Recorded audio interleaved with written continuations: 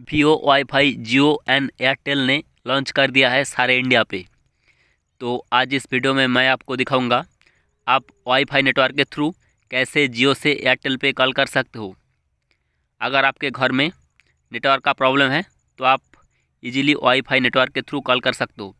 तो यहाँ पे देखिए, एक है मेरे पास आईफोन एंड दूसरा है वन प्लस सेवेंटी तो आईफोन पे जियो का सिम है एंड वन प्लस सेवेंटी पे एयरटेल का सिम है।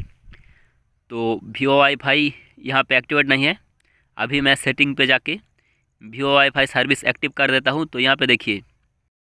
वाईफाई का सिंबल ऊपर आ रहा है, लेकिन जो वीओ वाईफाई का साइन है, वो नहीं आ रहा है। तो इसके लिए आपको क्या करना होगा? सबसे पहले आपको सेटिंग पे जाना होगा। देन आप इसको ऑन कर सकते हो। तो अभी मैं आपको करके दिखा देता हूँ। तो देखिए, यहाँ पे मैंने सेटिंग पे जाके ऑन कर दिया है। सेटिंग पे जाने के बाद मोबाइल डाटा, देन नीचे आपको दिख जाएगा वाईफाई कॉलिंग तो इसको ऑन करना है। अगर आप इसको ऑफ़ कर दोगे तो यहाँ पे जो वाईफाई का ऑप्शन है, वो चला जाएगा। तो यहाँ पे देखिए, ऑन करने से जियो, उसके पास में एक वाईफाई लिखा आ रहा है। तो आप इजीली वाईफाई कॉलिंग कर सकते हो। तो यहाँ पे मेरे पास जो आईफोन है एंड दूसरे में एयरटेल का सिम है तो यहाँ पे भी मैं आपको दिखा देता हूँ। अभी जो एयरटेल का सिम जिस मोबाइल पे है वन प्लस सेवेंटी इसमें सिर्फ़ टू जी नेटवर्क है। तो यहाँ पे देख लीजिए, इसमें एयरटेल लिखा है। तो अभी मैं वाईफाई पे कनेक्ट कर देता हूँ। एंड इसके सेटिंग पे मैंने ऑलरेडी सब कुछ सेटअप कर लिया है। तो देखिए वाईफाई कनेक्ट करने के बाद यहाँ पे आ चुका है वीवो वाईफाई तो ये मेरा फ़ोन के कैमरा में डिटेक्ट नहीं हो रहा है ठीक से। तो यहाँ पे आप देख सकते हो एंड यहाँ पे मैंने कॉल कर दिया है। एंड यहाँ पे वाईफाई नेटवर्क के थ्रू कॉल जा रहा है, आप देख सकते हो, मैंने कॉल रिसीव भी कर लिया।